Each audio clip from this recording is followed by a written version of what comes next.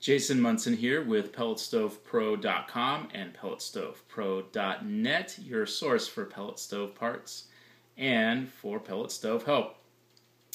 If you have an igniter that is not working, uh, maybe it's even a brand new igniter and the pellets aren't lighting, uh, there's a few things that you can check out. Um, the number one thing is you want to make sure that the igniter is actually getting power to it.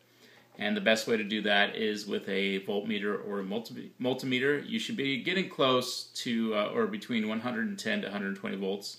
Uh, anywhere close to that voltage is is adequate.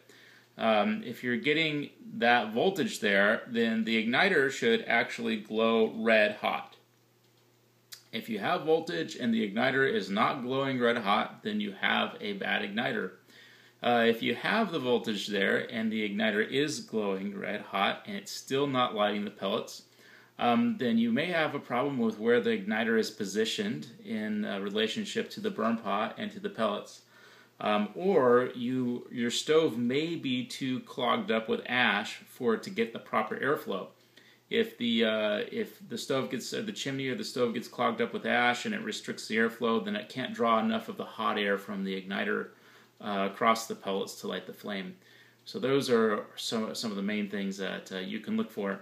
Uh, the easy way to test an igniter to see if it's working is to plug it in directly to uh, power coming out of a wall socket.